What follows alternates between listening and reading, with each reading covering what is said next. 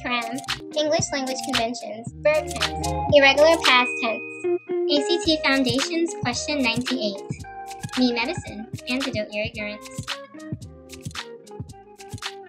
ACT English Foundation, Verb Tense, Question 98. Complete the sentence with the verb in the past tense. Zoe blanked the bird and put it safely into the cage.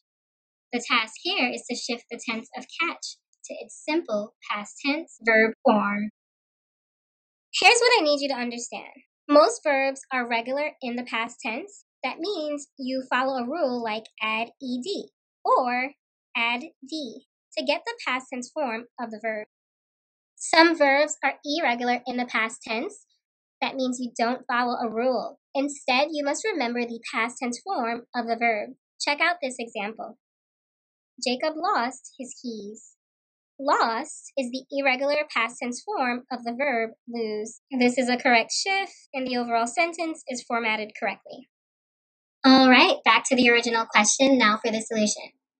Caught is the simple past tense verb form of catch. This is an irregular verb form, so you'll have to commit it to memory.